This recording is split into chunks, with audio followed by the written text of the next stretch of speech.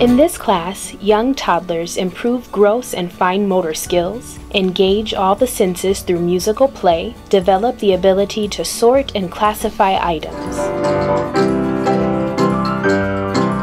Young toddlers improve their motor skills through active play and instrument exploration.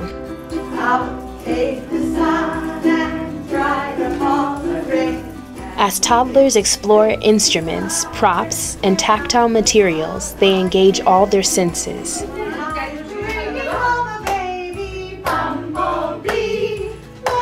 Theme specific props encourage children to sort, classify, and label items. Come sing, play, learn with MacPhail and explore the benefits of music for your child.